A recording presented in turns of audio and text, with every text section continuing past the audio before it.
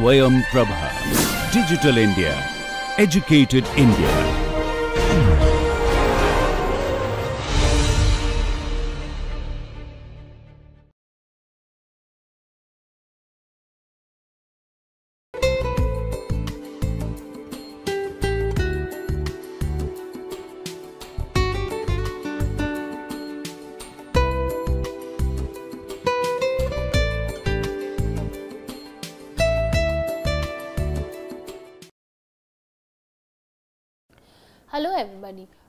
Back to the great experiments in psychology.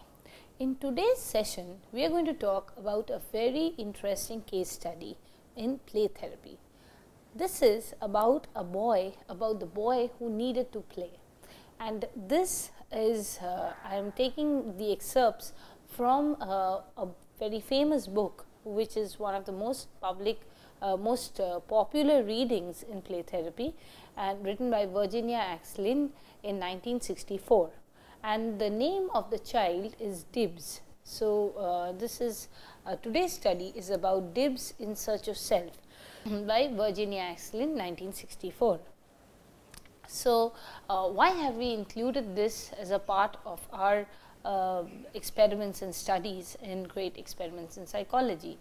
One of the reasons being that this gives us a view into what uh, what is the child's perspective is uh, when he is going through emotional trouble and how uh, this gives a different view again of how to deal with the situation.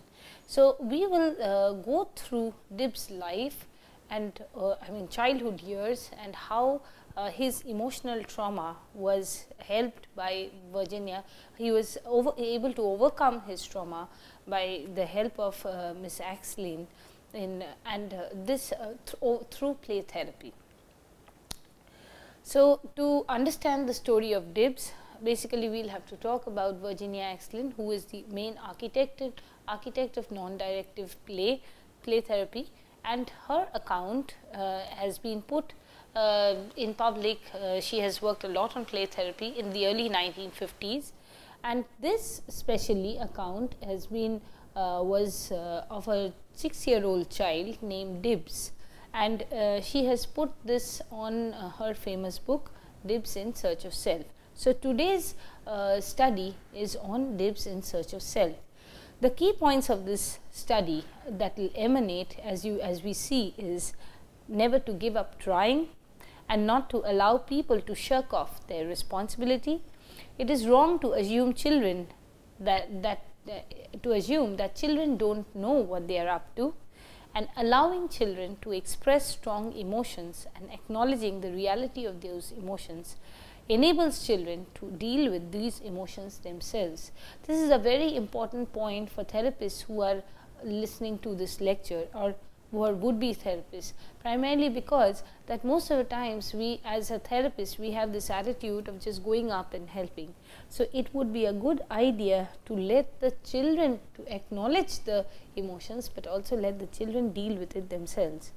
And once children are secure in a relationship, it is ex expected that they can make the decisions by themselves. So, um, through this uh, discussion on DIBS, we will go through a journey and we will also understand how to deal with an emotionally difficult child. And also what were the objectives of play therapy?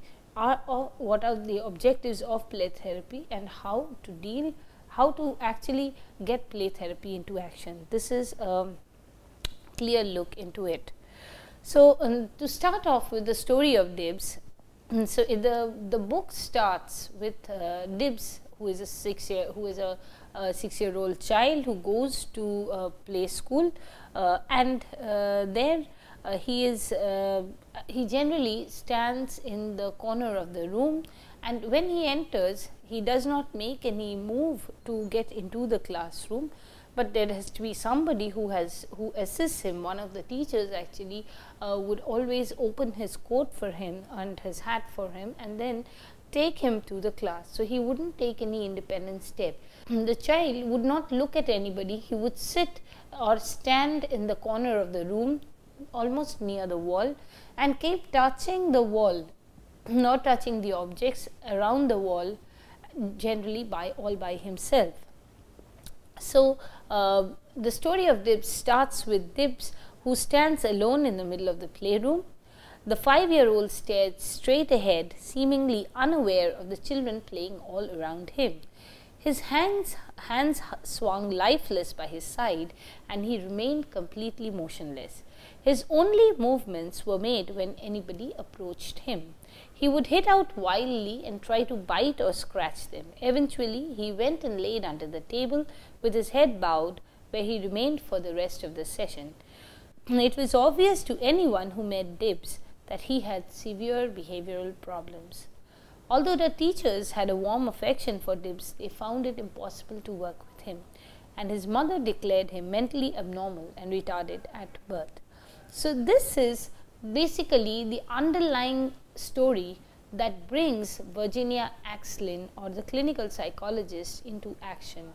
And when actually this was what was happening in school, where Dibs was uh, not interacting with the other children, we will see the uh, Dibs behavior. So, he did not speak to people, there was no eye contact, he preferred staying alone, he did not interact with people in any way. So, even non not even non verbally. So, there are many children who might not uh, wish to talk to others, but they would perhaps pass a, a pen to a friend or you know another uh, child or maybe uh, hold his hand or do something together. So, Dibs on the other hand would not interact with anyone in any way and he often stood at minutes on end with his head buried in his arms, leaning against the wall. So, the action would be something like this, and he would prefer to be by the wall. Sometimes he sat in the place, same place all morning, not moving and not saying a word.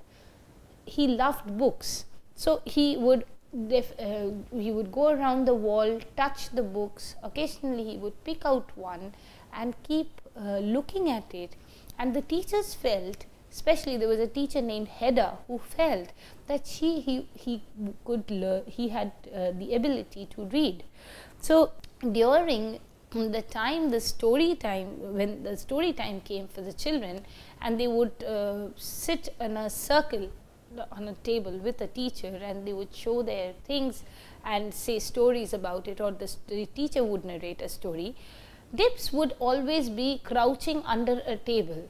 And so he was more um, if he wished he could actually in such an angle that he would be able to see the thing or the objects that the children showed and he could hear the story that was being said in the playground dib's behavior was very different from the other children so when the other children played together or played with objects um, other sports activities where they participated or they used the slide and the swing.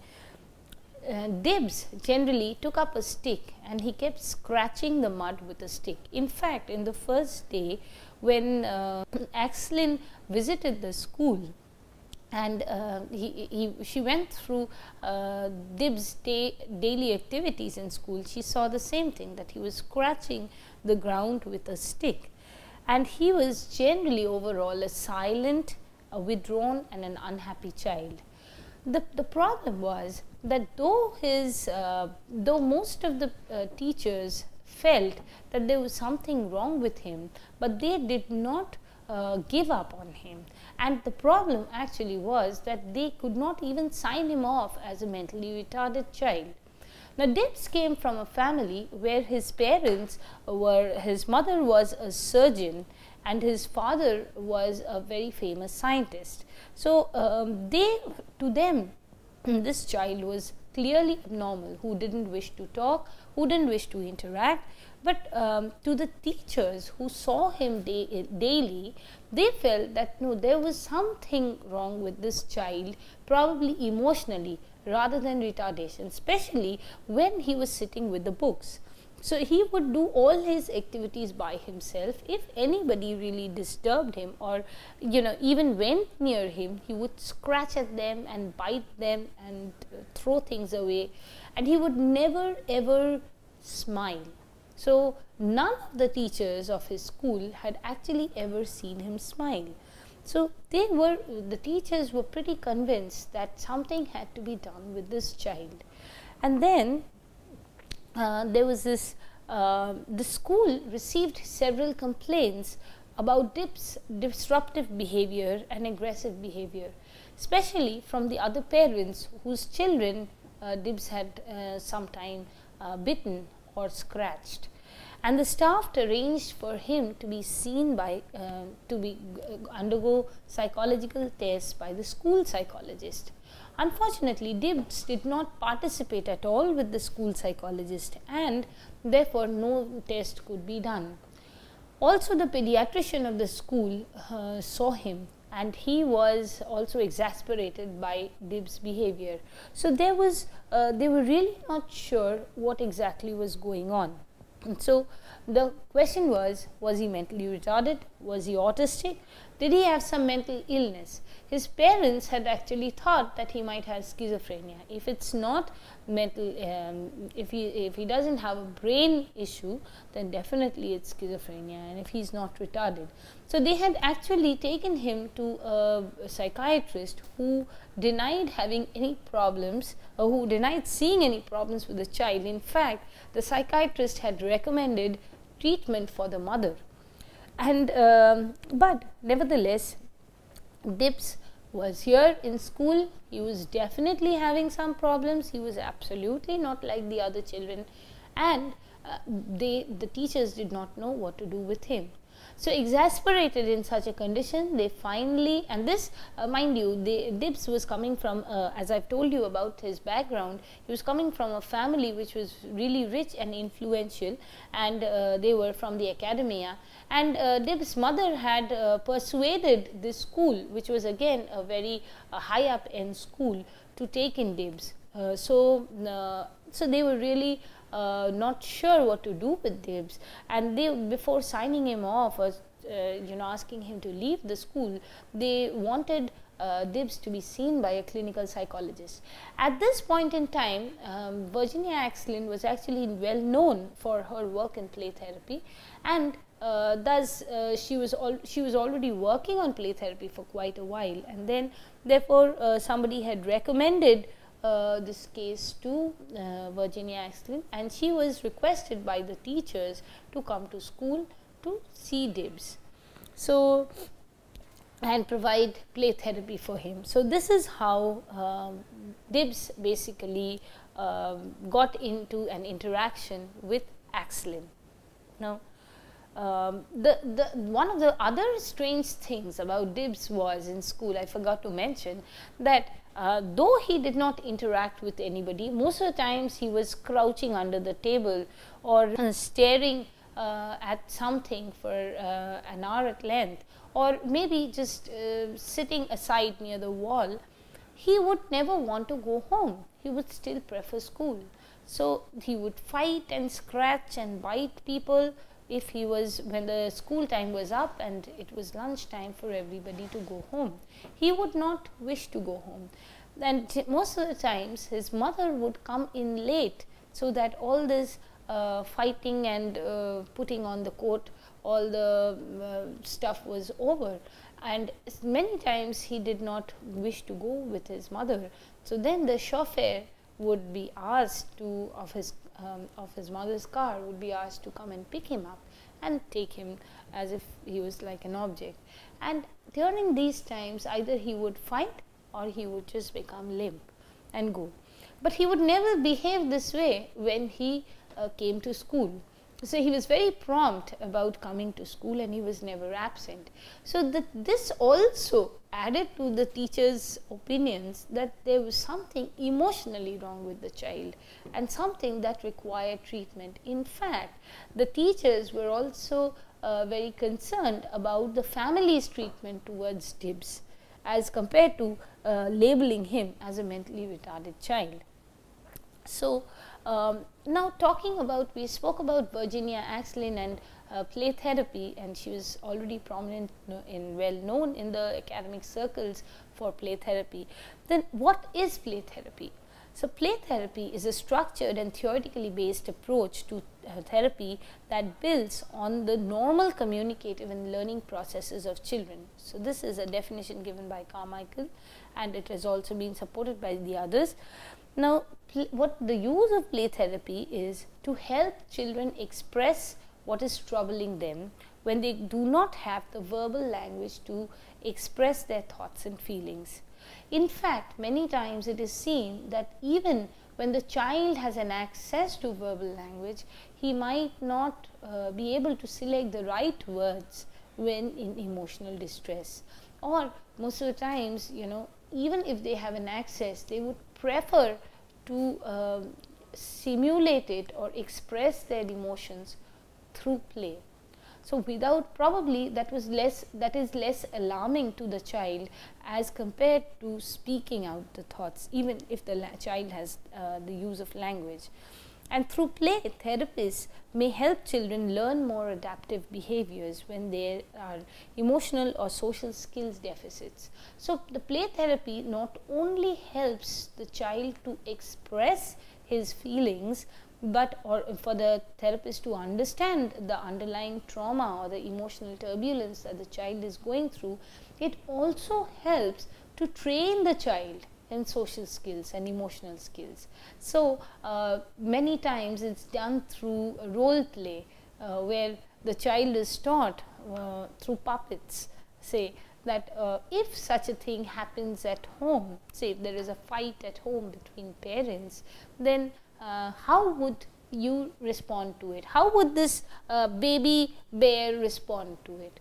So, this you know just through play, just through um, role play in this case, there uh, many times a lot of emotion uh, you know the appropriate emotional and social skills are taught to the child. The positive relationships that develop between therapist and child during play therapy sessions can provide a corrective emotional experience necessary for healing.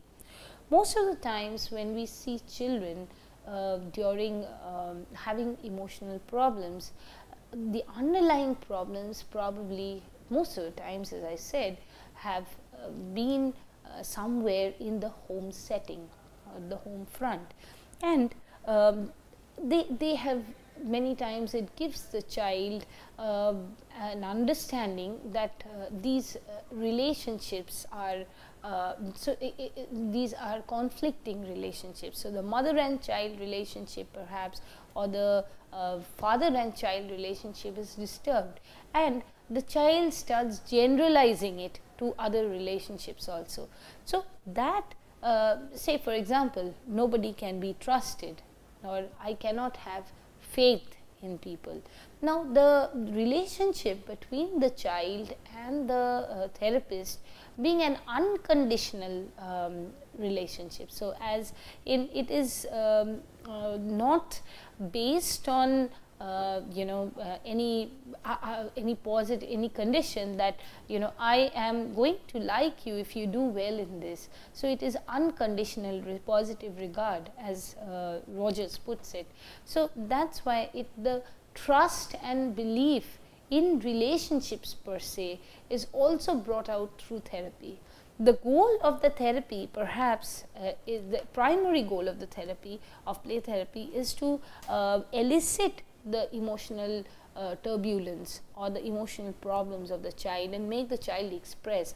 But on the other hand, it also helps to identify that uh, the type of problems that the uh, you know that uh, that has affected his belief system or is actually affecting the belief system structuring the belief systems of the child. So there you know the relationship the rapport between the therapist and the child also works as a corrective uh, emotional experience and which is also necessary for healing Play therapy may also be used to promote cognitive development and provide insight about and resolution of inner conflicts of dysfunctional thinking in the child. So, as I was just mentioning that many times the beliefs, there may be some belief system that is forming and maybe some dysfunctional thinking patterns that the child is developing through um, un, um, uh, through you know unwanted um, um, relationship problems at home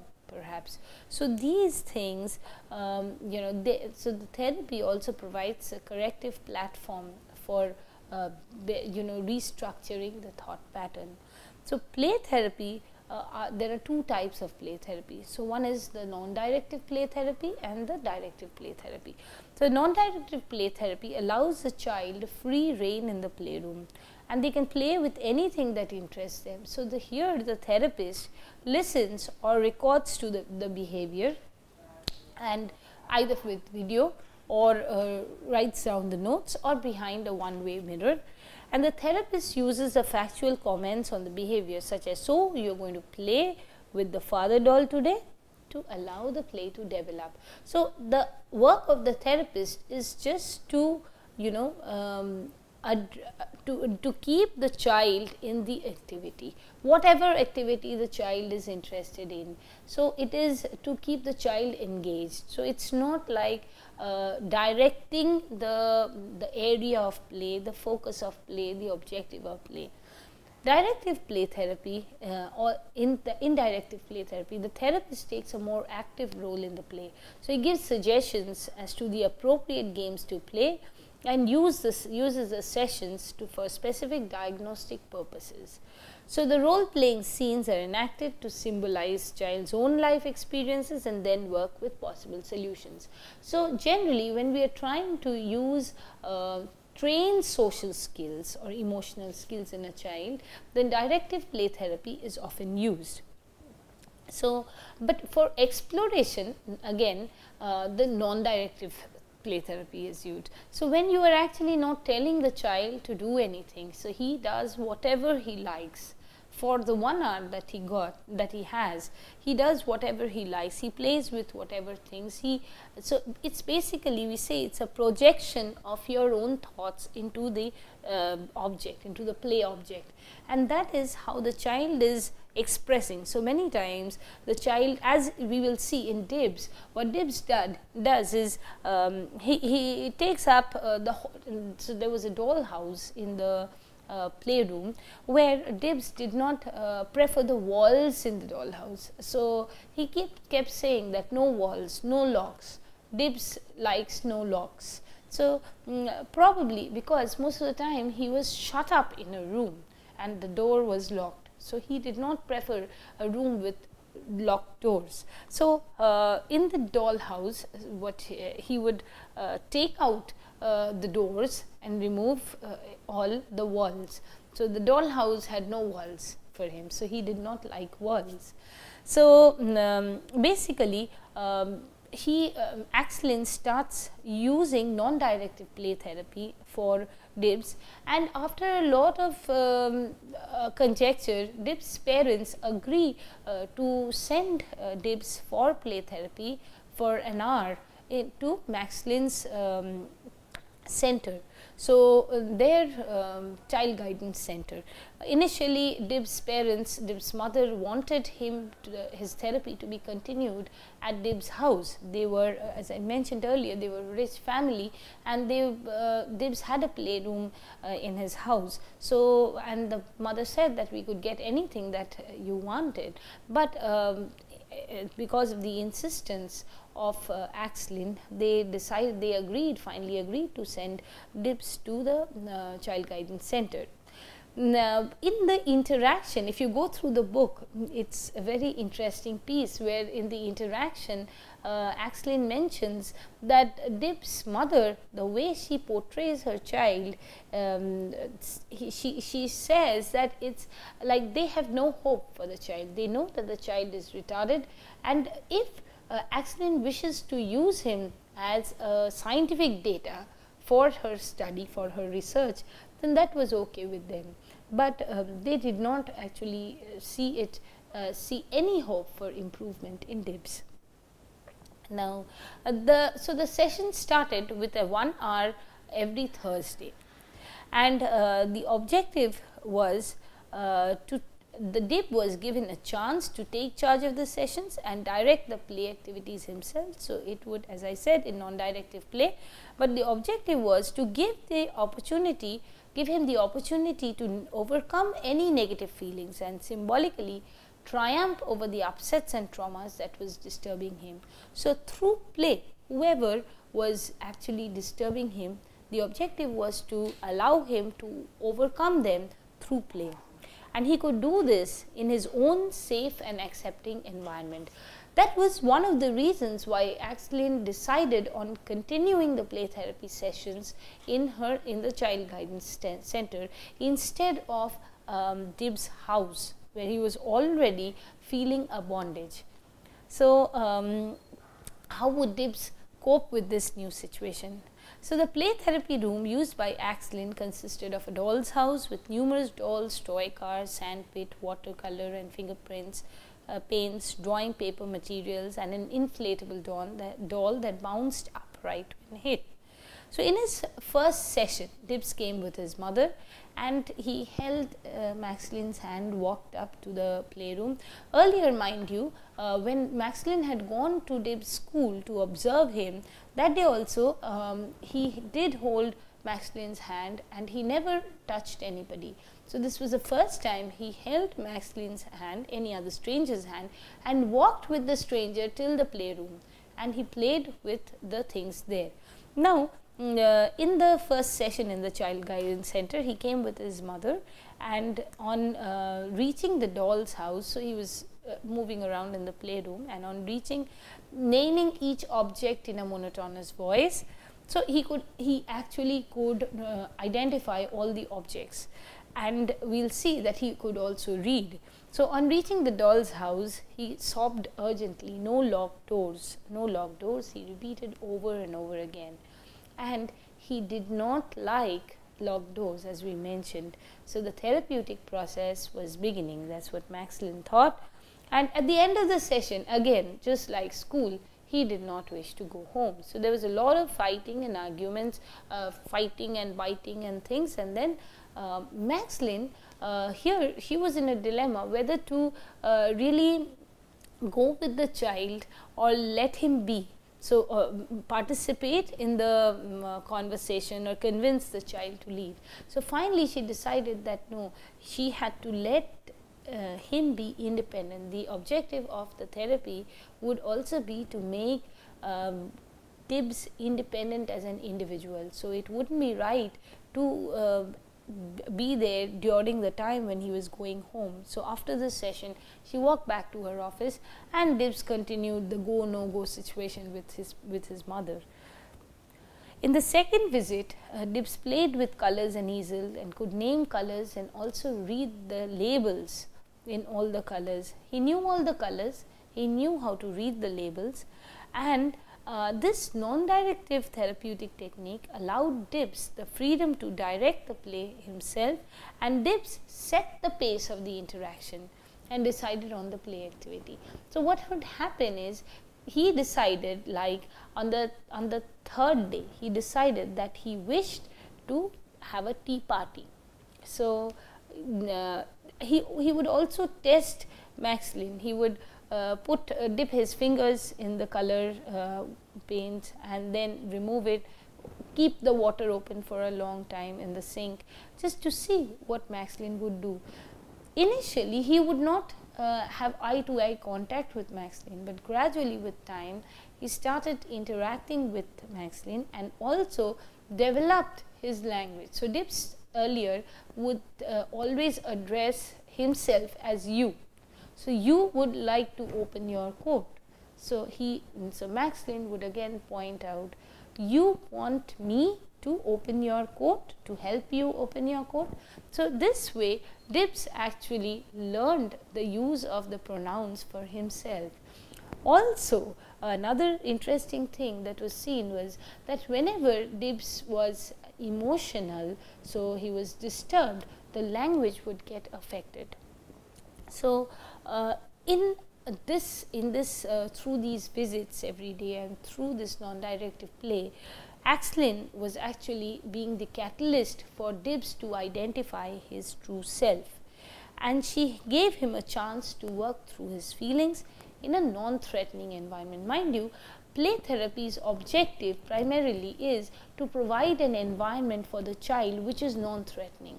So, if we have so in many schools these days, especially with the um, Montessori schools, you have a playroom. So, some of the pediatrics uh, pediatrician centers also do have a playroom. So, one of the the major objective of this is to provide an environment which is non-threatening to the child.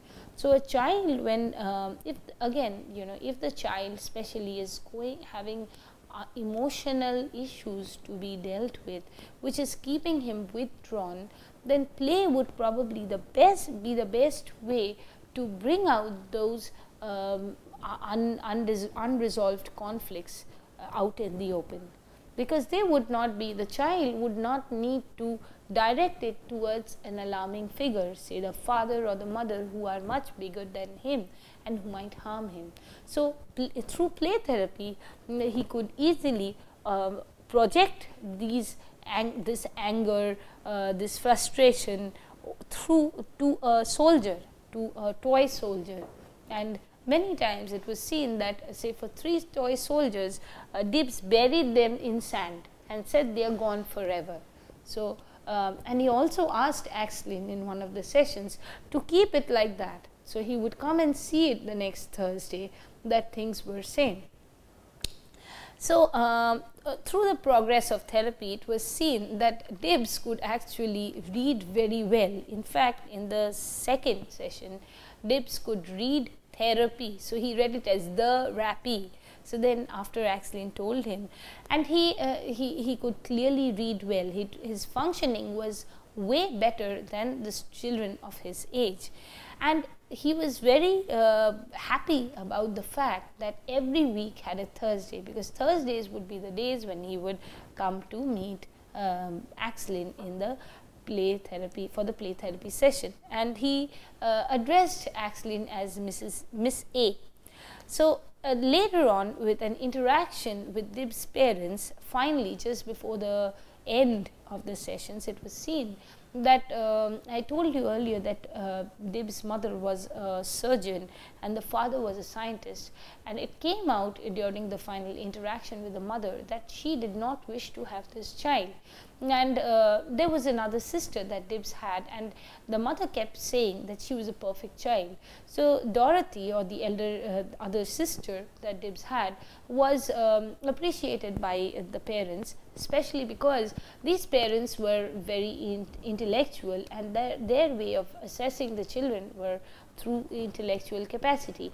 Now, Dibs uh, he did not express himself and probably that would be his um, so to them he was a shame and embarrassment so they kept him locked away as much as they could and not trying to bring him out into society so to public interactions now this thing so the more they did that, the more uh, Dibs used his anger and to withdraw into his shell and he stopped interacting with people.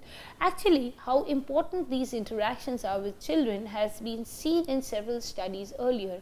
One of the major studies uh, with children uh, was uh, with a child called Genie uh, and if you just look up, if you Google up Genie, you will see that uh, this is this was one child. Uh, is she was called the feral child or the wild child, who was kept locked up because his father because her father did not uh, want the child and uh, did not feel she was weak and she was most of the times locked up in the room so much so that she actually did not develop language skills she couldn't walk properly. She was extremely malnourished. And um, when the child was identified it was uh, quite late um, when the mother had taken her uh, to um, uh, to a social uh, security mm, uh, some uh, some NGO sort of a center. And there uh, when it was identified uh, then after that uh, the, it was a lot of research was done on Genie and the effects of uh, you know low environmental support or interaction uh, was uh, left a mark uh, throughout the life of Genie. The same has been studied way back in uh, the 1700s by Itard who actually studied a, a boy called Victor. So, you can that is also a very uh, interesting study where he is known as the victor in the wilds and once when he came he could not um, speak the language speak the language he of the social norms social norms and standing up and um, also he the way it did not matter to him whether he was eating raw food or cooked food. So he did not finally Itard did not really pick up the language at all. So the, uh, finally Victor did not pick up the language at all. Itard worked with him for quite some time.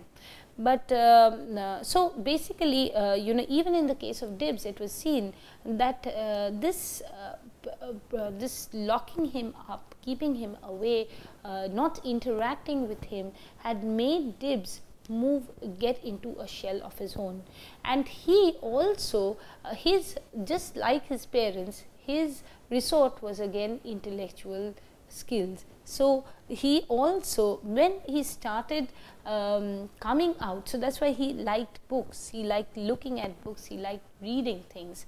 So, the mother at the end when he was uh, perfectly healthy and happy, um, uh, then uh, the mother uh, at the end of therapy uh, disclosed that she had started teaching uh, the child to read letters uh, way before two years age of age and uh, Dibs could actually read by two years of age. So, in Dib's last session with Axline, he was very relaxed, outgoing and happy and all his behavior was spontaneous. He said a final goodbye to the lady of the wonderful playroom. And uh, after that, uh, basically uh, a, a, week after uh, the final session, an IQ test was done on Dibs to see his uh, concepts, uh, his problem solving ability, the acquisition of information, reasoning and other intellectual operations and it was seen that Dibs had an IQ of 168. So, imagine they started with thinking that this child was perhaps a retarded child, perhaps he had a mental disability of some sort, so probably a mental illness. But he, here was a child with an IQ of 168 and less than 1 person in a thousand would score as high as him. And in fact, if he did not, he got so bored with the test, IQ test, that he did not finish reading the reading part of it. So, probably, uh, you know, by then he had already scored 168. So, later on, he uh, he, he actually got to meet Axline once and there it was seen uh, Dibs uh, remembered Axline. He also remembered that after two years he met Axline coincidentally on the road and uh, Dibs remembered exactly the number of days uh, before, how many Thursdays before he had had a, the last session with Axline. And later on, uh, when uh, quite several years later, by then Axline was uh, you know pretty prominent in her circle uh, dealing with uh, emotional uh, turbulence of children especially uh, through play therapy. And there one of her friends showed a letter uh, from a school where a child, a 15 year old boy had written an eloquent letter complaining about the steps that the administ school administration should take um, for uh, treating children, uh, for helping children who are ill treated. So, this um, and that letter uh, was written extremely eloquently and was followed up. Uh, the administration was planning to follow it up and this letter when showed to Axline, she saw that it was actually written by Dibs. So, now an assessment of play therapy. So, how uh, is it whether it is good, whether it is bad or whether it is doable. So, the most important part uh, is it is difficult to evaluate the success of play therapy primarily because you are dealing with one individual at a time and what kind of measure of success might be employed. The therapy that Dibs went through appears to be successful, but what brought this about? Was it the play activities, the toys, the relationship with Axline, the one-to-one -one contact or merely the developmental maturation that helped Dibs? Or Was it a combination of it all? So we actually don't know. And the problem is that this is very individualistic and tailor made for each child. So an assessment of play therapy would really be tough. And one of the major uh, criticisms of play therapy is it lacks experimental rigor. So, though we are talking of psychology as a science today, and that is why we have uh, we are discussing so many cases, but I still felt that it would be important to discuss this case that because when we are talking of individuals, many times each case is each individual is important when we are discussing cases. So, it is not only a quantitative study that is important in psychology. So, psychology deals with numbers, it uh, we try to um, it, we are trying to show that it can actually uh, be experimentally verifiable, but there are uh, the case studies especially uh, you know single case studies are also important. So, the qualitative material in psychology is also important for analyzing data and to understand human behavior. In fact, I will end this lecture just by uh, one of Dibs' sayings. So, during his therapy, Dibs once said, Every child should have a hill of all of his own to climb. And Dibs had had a higher hill than most, but through hard work, patience, commitment, and guidance, he had reached the top and was enjoying the view. He had found his sense of self. Thank you.